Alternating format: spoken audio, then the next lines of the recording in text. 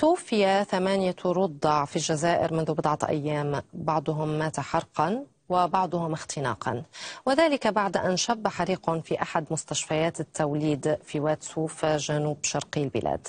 فاجعة أشعلت التساؤلات حول الإهمال الذي يطال بعض المستشفيات ومسؤولية الحكومة فيها. نطلع على تفاصيل الحادثة في هذا التقرير ثم نبدأ النقاش. صباح قاس استيقظت عليه الجزائر. مصاب جلل هز ولاية الوادي جنوب شرق العاصمة. شرارة كهربائية تسببت في حريق أتى على جناح حديثي الولادة في مستشفى الأم والطفل. ثمانية رضع قضوا أمام نار لم تكن بردا ولا سلاما عليهم. فمن لم يحترق بلهبها مات اختناقا من كثيف دخانها. الحماية المدنية أعلنت أنها تدخلت فورا وأنقذت أحد عشر طفلا وسبعا وثلاثين امرأة معظمهن نساء حوامل. تجمع الأهالي المكلومين على باب المستشفى والحسرة تعتصر قلوبهم على فلذات أكبادهم. فمنهم من انتظر أعواما ليحتضن طفله بين يديه.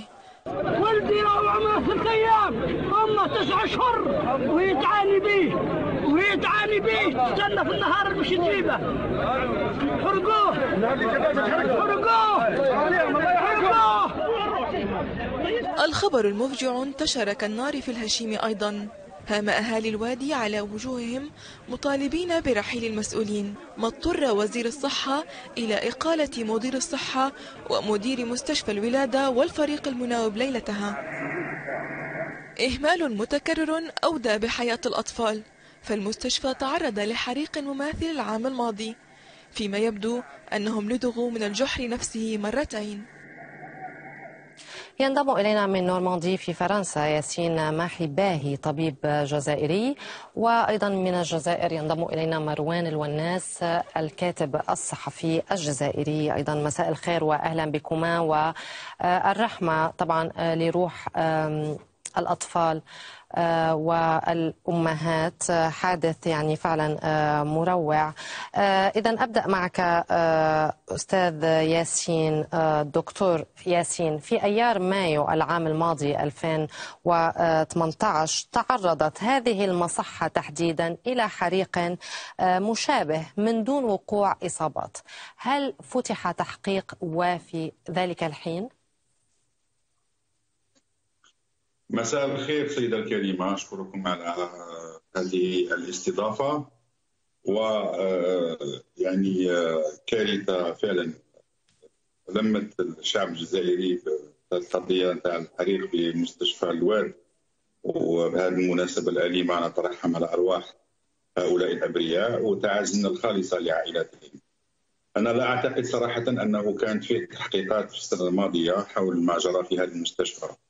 نذكر فقط أنه آه، نفس الشيء أو نفس تقريبا نفس السيناريو جرى في سنة 2002 في مستشفى وهران في قاعه الاستعجالات حيث كان هناك حريق كذلك لكن بطريقة أخرى يعني الماكينة التي مختصة في توزيع الهواء أو الأكسجين نعم. انحرقت مما من أنا ذاك 2002 إلى وفاة أربع أشخاص وأنا كنت حاضر أنا كنت آه، بالمناوبه انذاك آه، أنا غادرت الجزائر في سنة 2004 لأنني كنت من بعد من ضمن الألاف من الأطباء الجزائريين الذين غادروا الجزائر لأنهم لم يعيشوا لم يستطيعوا أن يعيشوا في آه، يعني في جو ملائم آه، لمهنة الطب. نعم.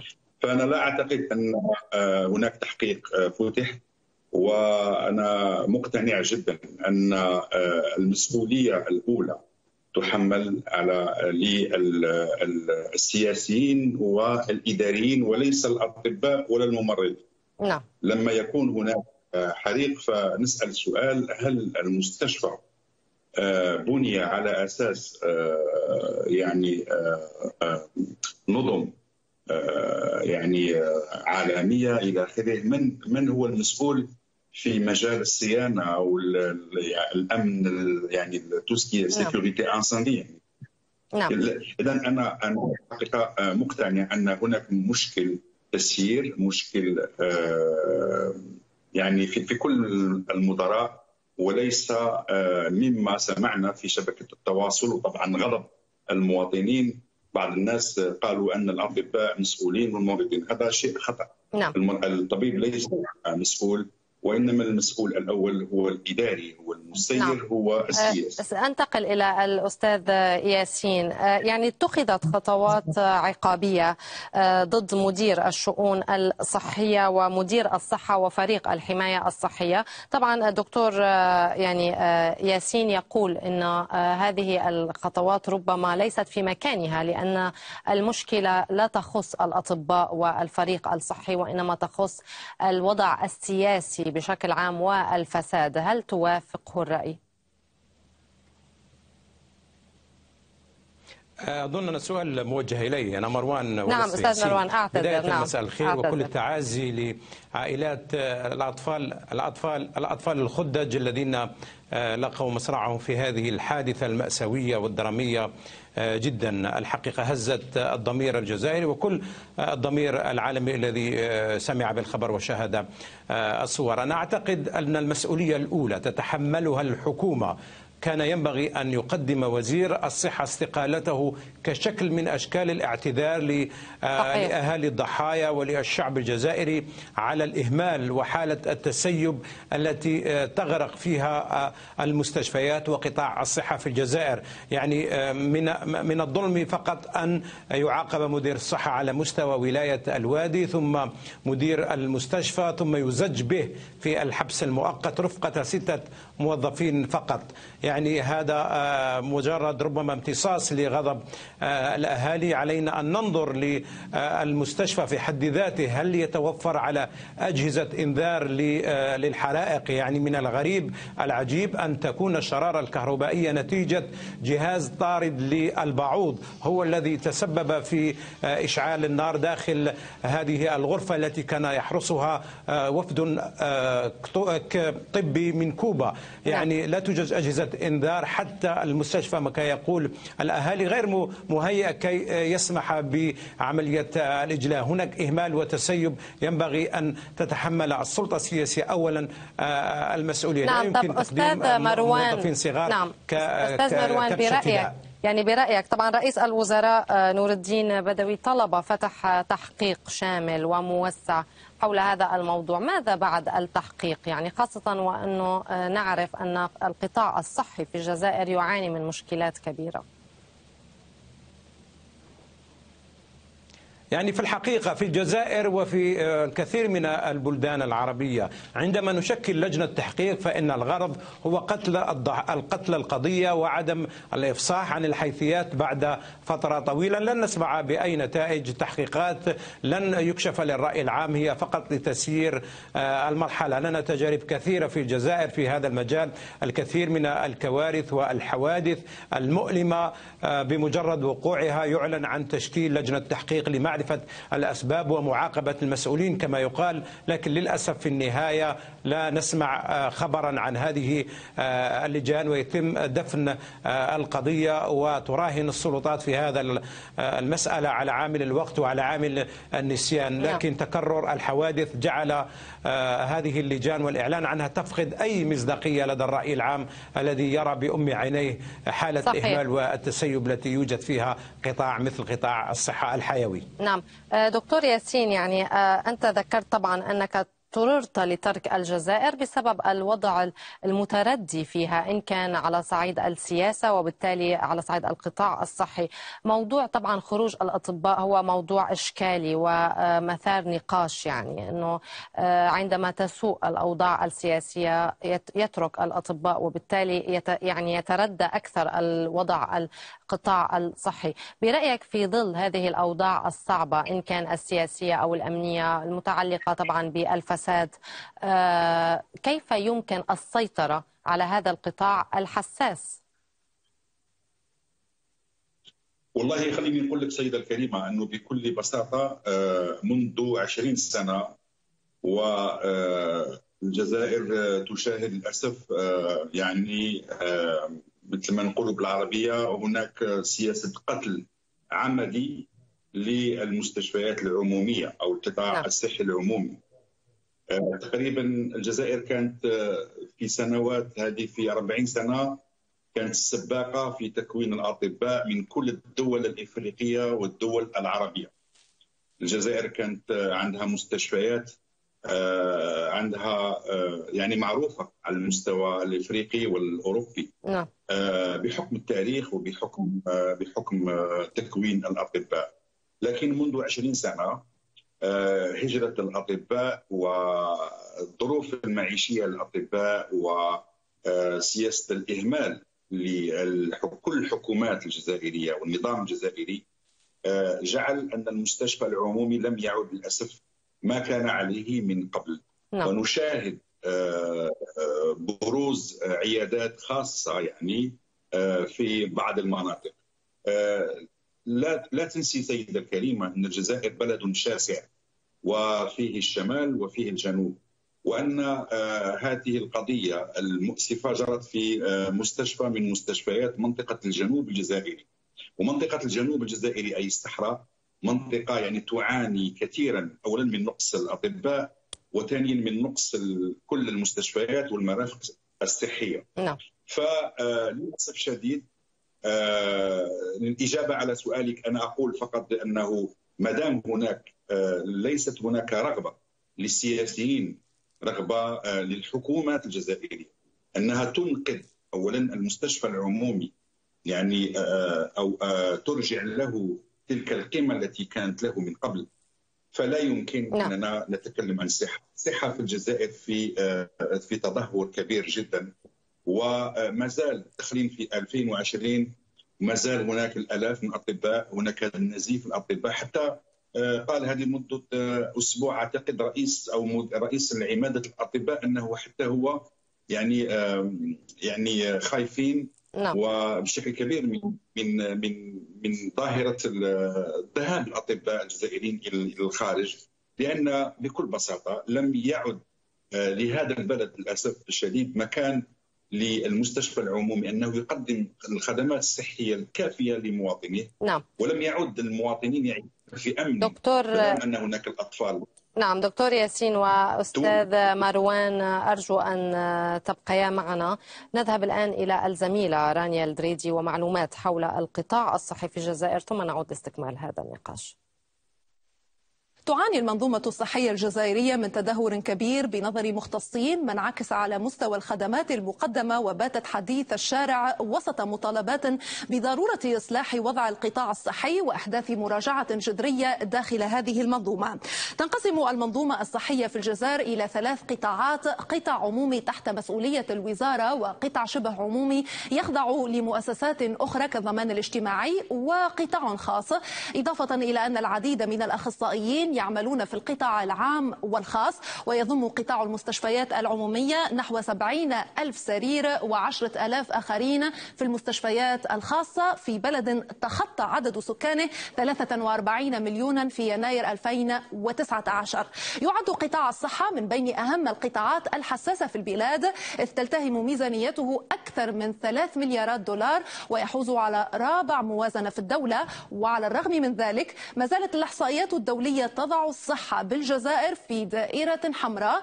إذ تشير تقديرات الأمم المتحدة إلى احتلال الجزائر المركز 101 عالميا سنة 2016 من بين الدول الأكثر صحة. وجاء هذا الترتيب اعتمادا على عدة عوامل مثل الإصابات وعوامل المخاطرة بين عامي 1990 و2015 لترتيب تلك الدول.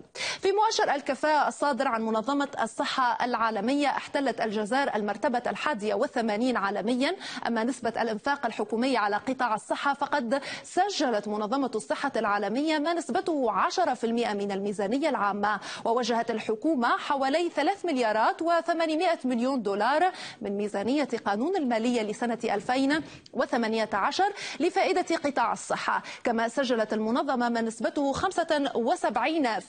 من التزام الجزائر بلوائح الصحة العالمية والتأهب لحالات الطوارئ الصحية.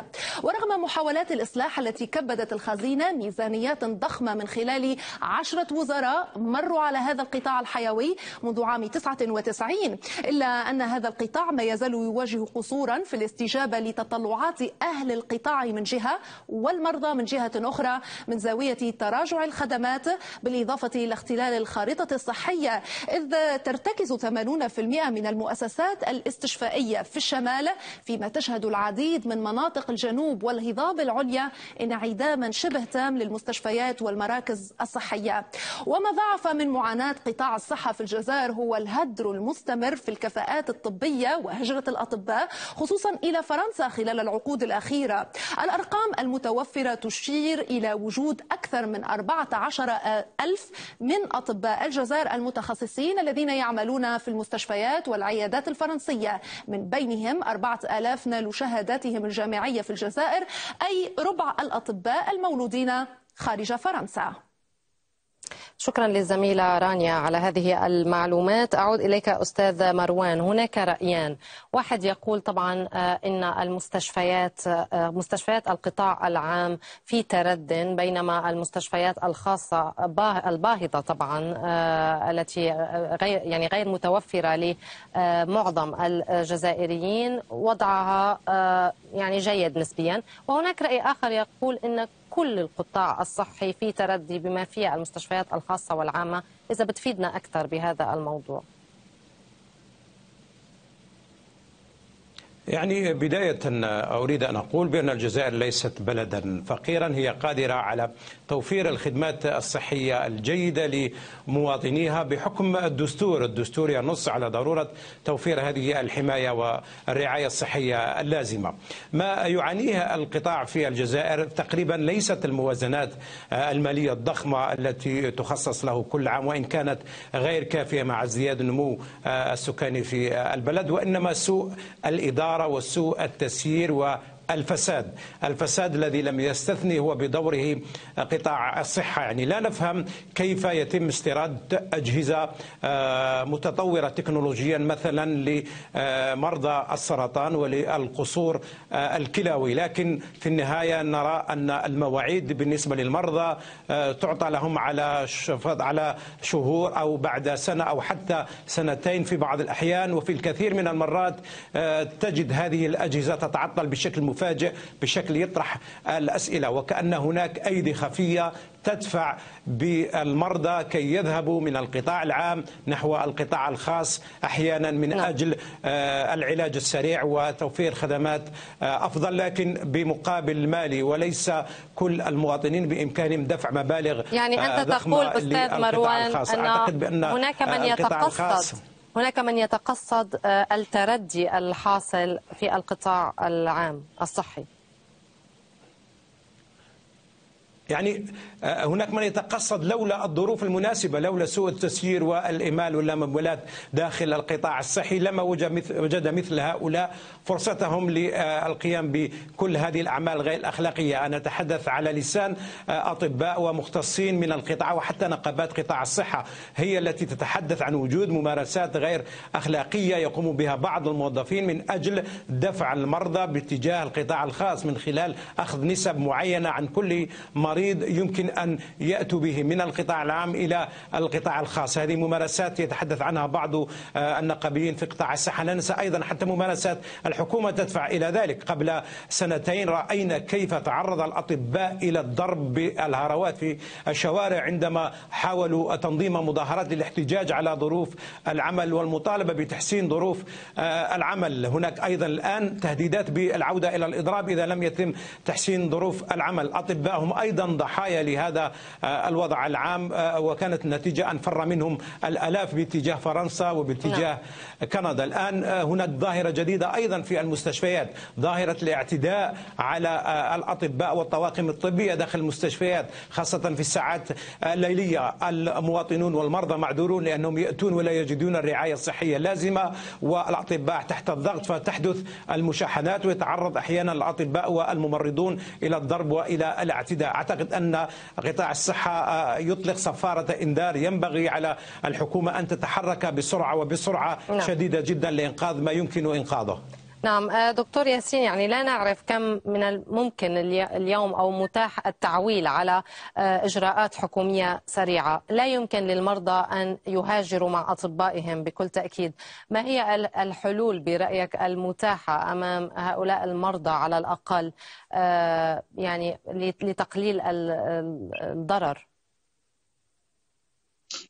والله والله آه، الحلول تكمن فقط في إعادة النظر سياسيا إلى هذه المنظومة التي تعاني منذ سنوات وضع كارثي، الحلول هي أن على كل إطار وعلى كل سياسي أنه يعرف أن حياة الإنسان هي حياة آه، صقير يعني حياة مهمة جدا. ولا يمكن أننا أو على أي إنسان انه آه، يعمل أنه طرف آخر يعاني.